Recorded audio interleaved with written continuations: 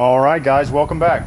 So today we are going to be reviewing the fridge freezer that I just recently bought by Snowmaster. It's the Snowmaster Traveler series, and I'll get you the exact uh, the exact nomenclature of the model um, here in a little while. So first impressions of opening it, it's been set to uh, ambient temperature outside which is approximately 90 degrees, some cloud cover.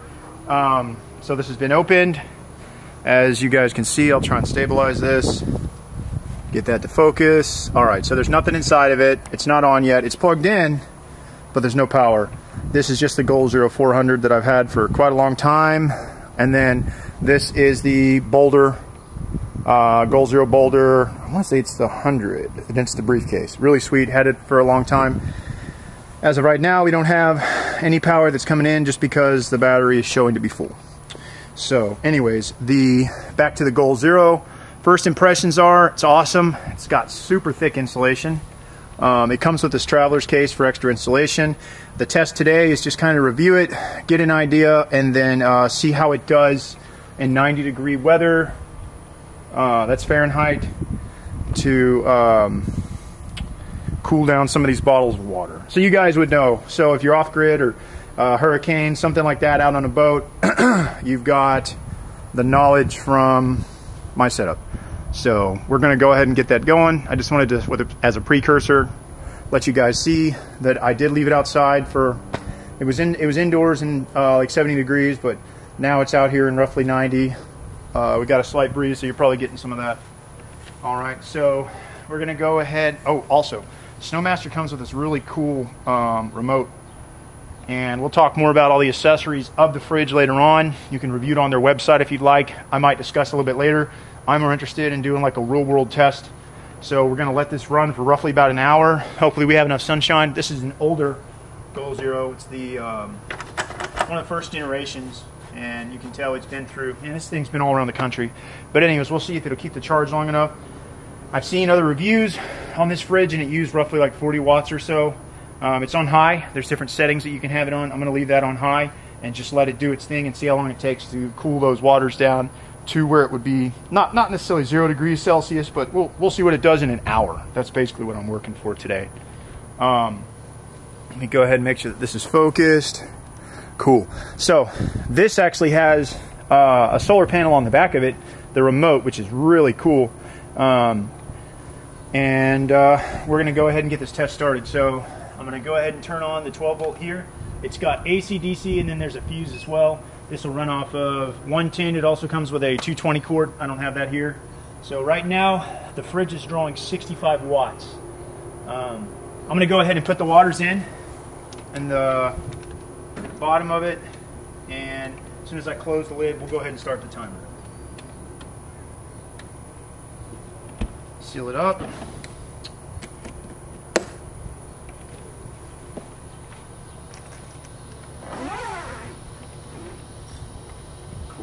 So like I said, 90 degrees, everything's sealed up. I'll go ahead and uh, set this out to charge a little bit in the sunshine. Battery might be dead on it.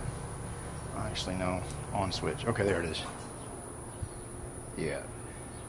It tells you the internal temperature and how many volts it's pulling. And it also has that as well. And it should be on, I believe, I believe it's on the high mode, yeah. Let me get a view. Hang on a second, guys. I'm not even editing this. We're just working through it and shooting it.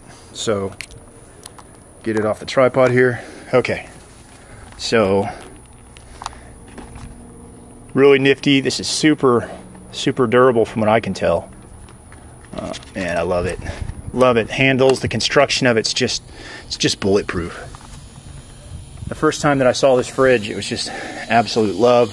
Check the connections. So basically, it's not bringing in a lot of um, power right now. This is on. Looks like the battery's charging. So I believe this actually comes with a battery. But like I said, I haven't had this very long. I really need to read through the instruction manual before I do a review on it. But uh, what can you say? Take it out of the box and test it, right? Uh, right. So we're going to check it for an hour, starting about now. Go ahead and start that timer. And then we will go from there. Timer. All right. So we'll come back and test it. So it is kind of hot out. I don't think you're supposed to leave those in direct sunlight. I may move that down and we'll go from there. So we'll check back in in about one hour.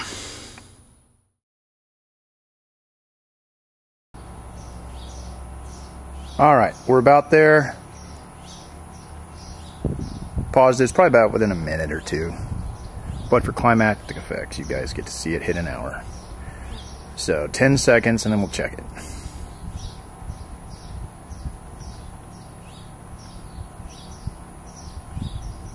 Four, three, two, one. Cool. All right. So, right now, the goal zero is drawing 25 on this side, zero on the fridge. The remote's probably fully charged by now. Okay, so the remote showing, make sure this is in focus. Cool, this thing does a good job. Okay, 18 degrees Celsius, and it's drawing 15.5 volts. Um, so we have pretty good sunlight. So the goal zero is definitely doing its job. The boulder. So it's definitely drawing free energy. We're going to take a look at the fridge. Now, mind you, this is 90 degrees, guys, and it was acclimated to that.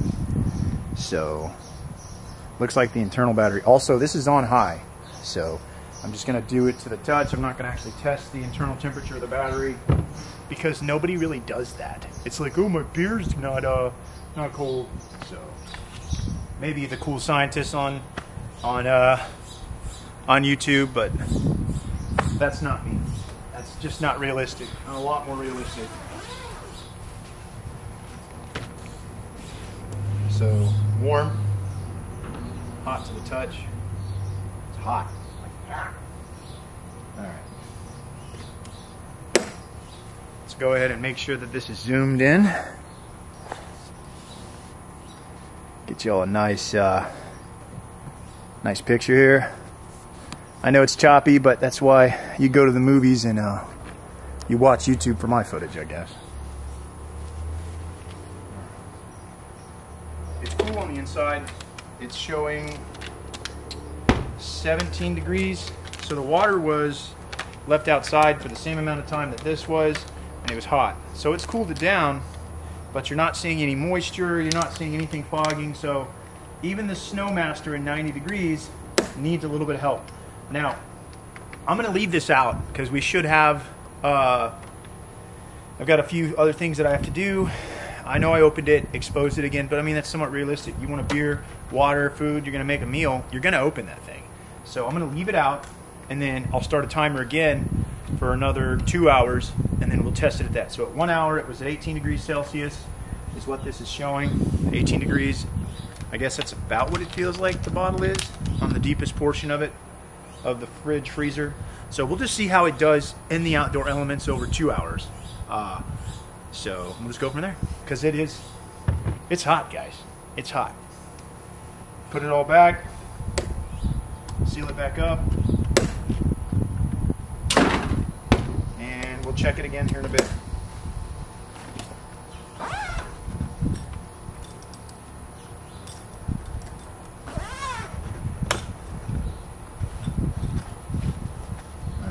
That's in direct sunlight, uh, but cars get hot too and I'm just curious what it would be like. So we're gonna go from there. I'm gonna turn this off. I think it charges when it's off. We'll see. And that's that. I'm gonna get that out of the direct sunlight. I put it down below the boulder case just because I don't think it's supposed to be exposed to this much heat. Uh, or maybe that's the lithiums, either way. And we'll check it in two hours. So we'll go ahead and start the timer. All right, stop that reset it, starting for two hours. Cool.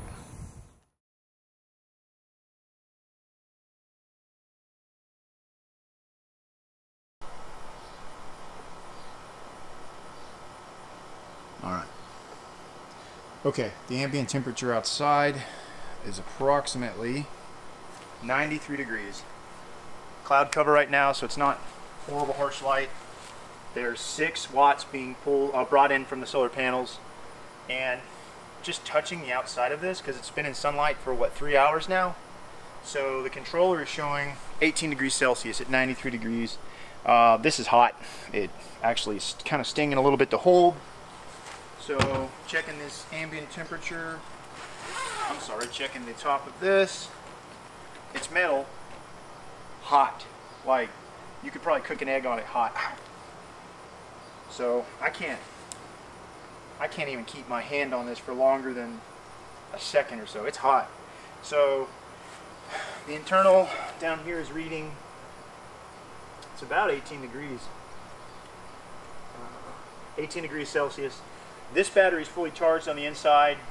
So, I mean, it hasn't drawn any power at all from the Goal Zero uh, Yeti 400. So, um, I mean, obviously, cars get hot, and that was kind of the idea of doing this this experiment was to see it. It's not loaded down with a bunch of other stuff. My recommendation is if you're going to be using a fridge freezer in your vehicle, is that overnight, make sure you take like some bottles of water, um, not carbonated stuff, and freeze them. Get it down below zero degrees Celsius Fahrenheit, 32 degrees Fahrenheit, and freeze it overnight so that whenever you do put your products in it, whether it's uh, vegetables or whether it's other frozen products, drinks, whatever else, it'll help it stay cold. The idea is to keep it in shade if you can. I'll do another test to where I run the same thing I'll run it all off grid. Uh, the only thing that's plugged in is that camera, just because I was doing some time lapse uh, time uh, time lapse photography while we were waiting. So you can look forward to that video too. I'll uh, I'll tag it under here. Anyways, make sure you keep it in the shade. Make sure your products are cold if you can. I just wanted to see what it was like going from the ambient temperature outside, which is approximately 90 degrees earlier when we started this. It's the heat of the day, and um, wanted to see just how well this fridge holds up to it. Uh, it's metal. Metal conducts heat so it gives you an idea of it. We'll test the water, uh, get you see exactly how cool the water is real quick. I mean, the water's cold. You can see how it's fogging up. Autofocus. Make sure you guys can see this. Um, yeah, it's fog. I mean, it's it's cold. So you guys can do the conversion. I want to say that's roughly what I've what I've been able to tell since we started. It's about 30 degrees cooler-ish than uh, the the um, ambient temperature outside. Also, it's metal, so that's got to be over 100 degrees, maybe even more. Um, so overall, I'm pretty impressed. It was able to get 30 degrees cooler. So if you had a salad or something and in your products, it's going to keep it fresh. Uh, as for actually getting these down to be able to freeze it, doesn't seem like it's able to do it. And that was with it on high. So doesn't draw that much powder. I'd still recommend it. Uh, it's a more expensive uh, cooler, but overall, I don't think that my uh, Intel B or the ARB would actually be able to do it, but I don't have those here to test it. You guys will have to either look up other videos or try that same test. If you do, make sure you leave it in the comments and a link so that I can look at it too. Hope this has been helpful. Make sure you hit that subscribe button if you like this content. And um,